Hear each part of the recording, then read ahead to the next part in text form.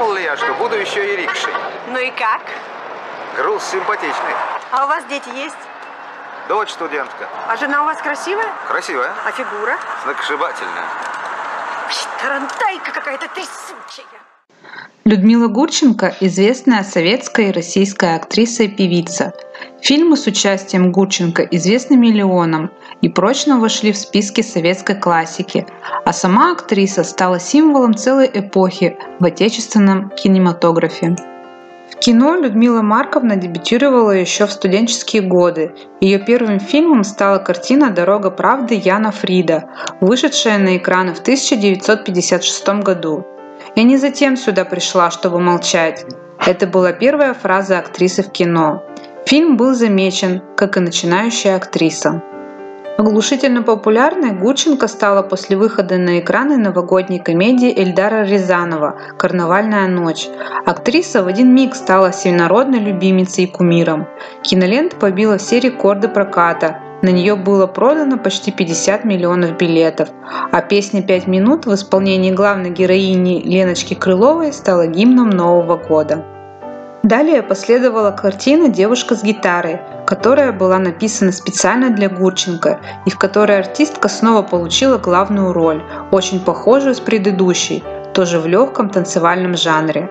Этот фильм был менее удачным, хотя по инерции собрал полные кинозалы страны. Но успех этих двух лент имел другую сторону медали. За Гурченко закрепилась амплуа некоторой легкости и беззаботности. Следующие события стали темной полосой в киноактерской биографии актрисы.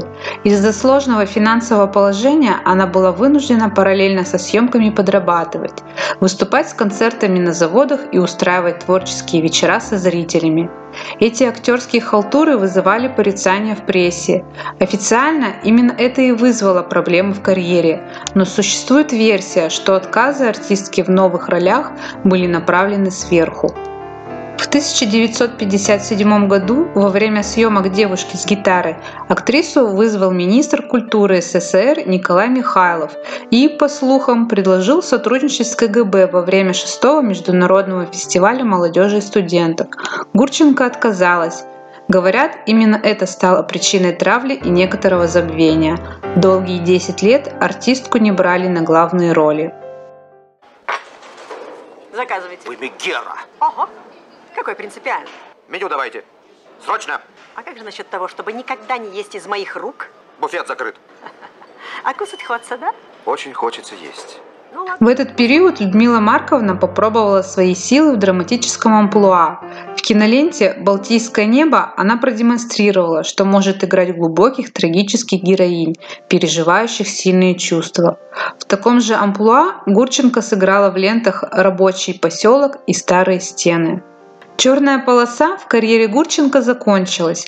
Она вновь стала одной из самых востребованных актрис страны и получила возможность сниматься, получив яркие роли в фильмах.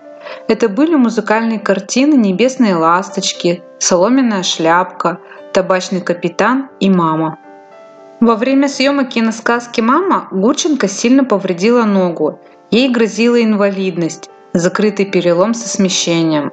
Вновь танцевать и ходить на высоких каблуках Людмила Марковна смогла лишь после многолетних тренировок. Всего на счету великой актрисы 96 ролей в кино.